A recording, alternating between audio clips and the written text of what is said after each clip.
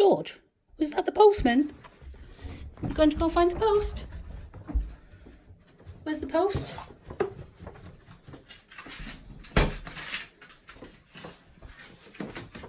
Come on, bring it to mum, please. Good boy, George. Good boy. Now listen, mum can't pick it up. Can you pass the post to mum? Bring it to mum. Good boy, George. Good lad. You're very clever, aren't you? Good boy.